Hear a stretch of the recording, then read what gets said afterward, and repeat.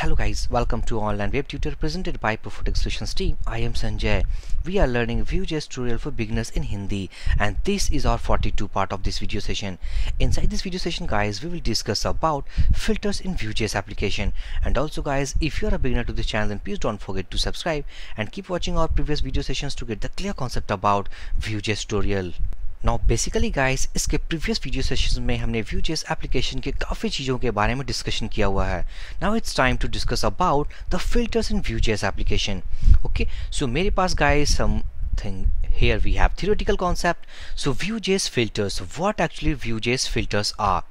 so Vue.js filters are the way Vue.js lets us apply formatting and transformation to a value that's used in a template interpolation it means guys that's कि अपने previous video session में अगर आप देख देखी हो तो ये है वो listing जो कि हमने Freak.json REST API के थ्रू लिस्ट किया था ओके okay? सो so हम filters के थ्रू गाइस अपने वैल्यू के फॉर्मेट्स को चेंज कर सकते हैं और उन्हें ट्रांसफॉर्म कर सकते हैं but remember we are not going to change और update it's value okay so just back to slides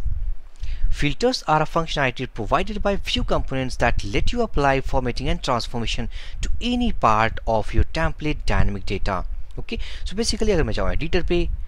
so basically guys यहाँ पर हमने v model means this is something the value that we have rendered ये हमारी dynamic value है okay, इसी तरीके से अगर मैं जहाँ so blogs dot Vue component पे this is the value that we have rendered by using call template interpolation okay so इस वैल्यू के फॉर्मेट और इन्हें ट्रांसफॉर्म करना हो सो बेसिकली इनको, इनके ट्रांसफॉर्म और फॉर्मेट करने के लिए हम फिल्टर्स यूज़ करते हैं। Instead we actually not update the values of this blogs okay हम इनके वैल्यूज़ को अपडेट नहीं करते हैं। वी जस्ट एक्चुअली फॉर्मेट और transform this interpolation value okay so just back to slides they don't change a component data or anything but they only affect the output okay obviously ये output को change करती है और उन्हें format करती है ना कि उसके value को change करे okay so just back to slides so here we have guys two options to declare our filters either we can declare locally or globally okay locally guys हम किसी भी components में जाकर के declare करते हैं something by using filters object okay और globally register करने के लिए गाइस हमें मेन डॉट जेएस फ़ाइल पे जाकर के व्यू डॉट फ़िल्टर फ़ंक्शन को यूज़ करके हमें इसे रजिस्टर करना पड़ेगा। Okay so basically we will see all these two options so just back to editor now this is a template interpolation जहाँ पर हमने ब्लॉक के टाइटल को रेंडर किया हुआ है। Okay so let's make this title into capital right now we have on all letters in small okay जहाँ पर ये स्मॉल केस में है. Now we are to convert into upper case by using a filter okay so let's that make upper case okay this is a filter name okay और separated by a pipe symbol okay this is a filter name separated by a pipe symbol in the template interpolation dynamic value okay so मैं इसे copy करूँगा. Let's register first locally okay so inside here inside this export default we have to define called filters filters and now this is an object okay inside this object guys here is our filter name called make uppercase okay and it's a function so let's define that it will take a value okay कौन सी value हमें format करनी है now let's return value dot to upper case okay this is a function Okay so value को हम to upper case में convert कर रहे हैं। So just save this file go to browser और हम देख सकते हैं गाइस कि सारी वैल्यू हमारी अपर केस में कन्वर्ट हो चुकी है। And this is done by this filter but remember guys this filter actually we have registered as locally inside this component okay inside this individual component okay इसी तरीके से अगर मैं कोई और फ़िल्टर बनाऊ here with our body part क्योंकि हम बॉडी पार्ट के कंटेंट्स को अगर हम कम करना चाहें समथिंग कॉल्ड अगर ये 200 कैरेक्टर्स की हैं, अगर हम इसे, हमें 100 कैरेक्टर्स की करनी हो तो कैसे करें? So just back to editor and let's say that cut text okay और let's say that it's not good it's content snippet okay so content snippet okay so this is a filter and now it is separated by a pipe symbol okay so just go down inside this filters object now we have to define the next filter something called content snippet function it will take a value कौन सी value हमें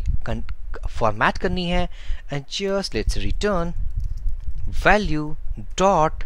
let's slice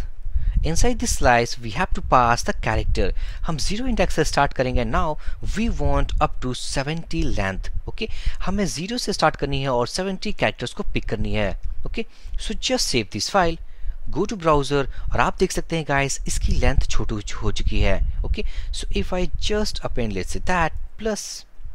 dot dot dot, save this file and now it says that we have more contents to read. So, basically, guys, हमने देखा अपने two filters के बारे में something call make up a case and the content snippet आप इस तरीके के फिल्टर्स बना सकते हो और डेटा को फॉर्मेट कर सकते हो okay but remember guys we have registered all locally अगर इसे हमें अगर रजिस्टर करना हो globally so just comment all this things okay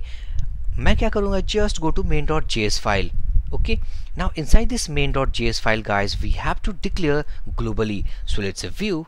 dot filter inside this filter first we have to pass the filter name okay and something called make uppercase so just copy paste now if suppose guys हम save करने के पहले अगर हम इसे comment कर दें अगर हम इस फाइल को सेव कर दें now we are going to save and remember all filtered are not defined because this is commented okay so just back to browser inspect that and now as we can see that we have errors go to console as we can see that fail to resolve filter okay make uppercase filter हमें नहीं मिली okay so just we have to define it globally okay so just back to main.js file and let's uncomment that view dot filter make uppercase it's a function here we have value and now we have to format this value okay so let's return value dot to uppercase let's say to uppercase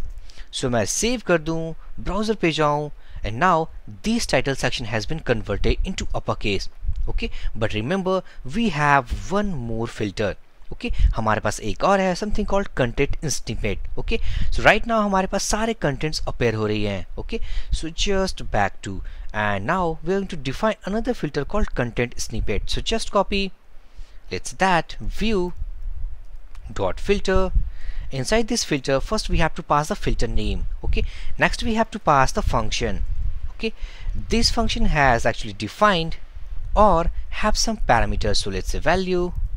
okay? ये वही value guys जो कि हमें format करनी होती है और change करनी होती है like something here okay this is value that we have passed inside this filter okay so dot main.js file and let's return value dot let's say that slice and basically let's this time we want from second index up to 70 length okay so just save this file go to browser and now as we can see guys that the length of the body section has been changed okay यहाँ पर हमने slice function को use करके इसे हमने text को छोटा कर दिया हुआ है okay so this is all about guys our vue.js filters okay? जहाँ पर आप व्यू जेस फिल्टर्स को ग्लोबली आइदर लोकली रजिस्टर करके गाइस आप अपने डेटा को चेंज कर सकते हो एज वेल एज फॉर्मेट कर सकते हो। बट रिमेंबर गाइस हम डेटा को यहाँ पर चेंज नहीं कर रहे हैं। We are not updating the values of this data object we are updating only the transformation as well as the format of data साथ ही साथ गाइस हम अपने फिल्टर्स को ओनली इंटरपोलेशन में यूज़ नहीं करते हैं। हम इसे वी पॉइंट के अंदर भी यूज़ कर सकते हैं okay so let's declare something called anchor tag so let's anchor and basically it's anchor tag has click here to go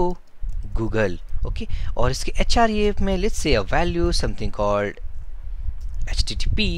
H T T P S and let's W W W dot google.com okay now we have a title attribute let's say that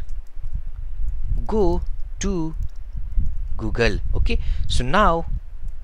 we have uh, two attributes called href title and anchor tag okay so अगर मैं save कर दूं browser पे जाऊं and now here we have anchor tag so if we inspect that here as we can see that this is our anchor tag okay so how can we apply our filters to this anchor tag हम अगर हम apply करना हो तो so just make some font so if you go to editor so basically guys first of all we have to make it dynamic okay so मैं इसे cut करूँगा just go to data object and let's say that href it has some value something called this just go up just we have to use vbind directive okay to bind the dynamic value and this is inside href okay This href guys as we have defined inside data object okay? So if we cut this title section as well and let's say that we bind and this is something inside this title okay? So title property define karni hogi so let's that title inside this title we have value something called go to go to google okay? So if we save this file go to browser again now we have same value. As we can see we have same value okay but time as we have rendered this value by using v bind okay अब हमें अगर filter use करना हो guys अपने v bind attributes के साथ just separate with a pipe symbol and next we have to use the filter name suppose we are going to convert this title into upper case right now जो हमारे पास value है this all values into small case हम देख सकते हैं go to Google अगर हम इसे अपर केस में कन्वर्ट करना हो just separate with a pipe symbol and now we have a filter call make upper case so just copy and paste here okay? So, if I save this file, go to browser. आप देख सकते हैं, guys, go to Google is converted, now uppercase. Okay? So here we can use filters in two ways. By using template interpolation values as well as with the vbind attributes. So now guys by the help of this video session we actually understood about the use of filters in Vue.js application. Okay? So if you have any doubt in this video session guys then please drop your comment. I will give my reply as soon as possible. So for this video session guys thank you for watching. Have a great day